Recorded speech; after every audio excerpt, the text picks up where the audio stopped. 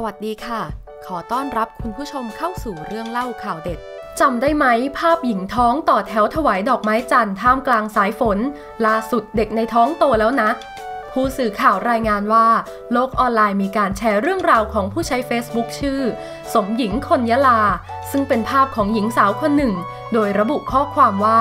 ยังจำสุภาพสตรีท่านนี้ได้หรือเปล่าคะ ในวันที่ฝนพรำจิตใจแน่วแน่มิแพ้ฝน อดทนมุ่งมั่นมิหวั่นไหวพาเจ้ากราบส่งเสด็จสู่สวรรคาลัย โดยหัวใจพักดีมิสั่นคลอน